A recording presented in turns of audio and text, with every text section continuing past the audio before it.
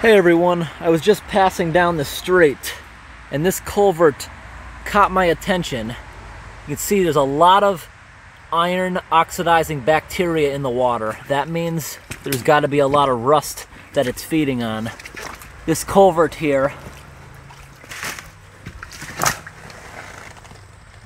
doesn't look too bad actually. The bottom there's a little bit of pitting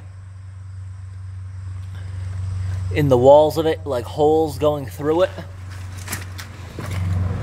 And that's what caught my attention. Up by the street, there's a few holes in the road, and that looks like a sinkhole hazard to me. Now, this corrugated part here, as you can see, only goes in to about right here. Then it's a square box culvert. I think their reasoning behind that was from here to here, it's not under the road, the metal part.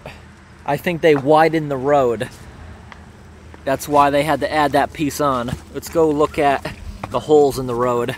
The reason I thought there might be a sinkhole or something forming. Okay, here we are, walking across the street. The dam's not even flowing. This right here, soil's being washed out. Looks like a miniature sinkhole, I guess you could call that. Really small one. By looking at the situation, it does not look dangerous. Look at that, there's fish in there that are basically trapped. But take a look at the bottom of the dam. The bottom of the dam down there is all eroded. And look at all the cracking right there.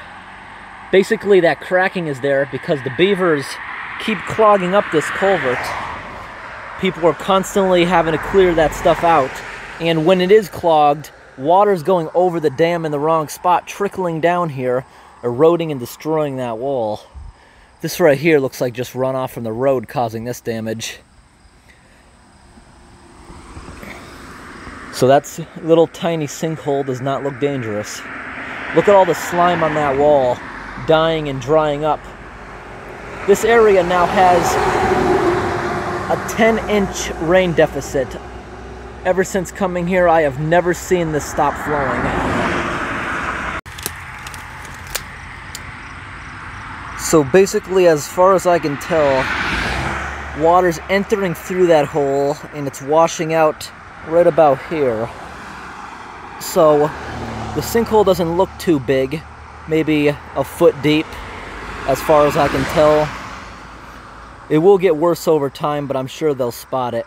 It doesn't look like that much of a hazard considering what's below it. The ceiling is completely intact in the corrugated culvert and down here, as far as I could tell, in the box culvert. It looks like it's just washing out above the culvert which is only about a foot of dirt.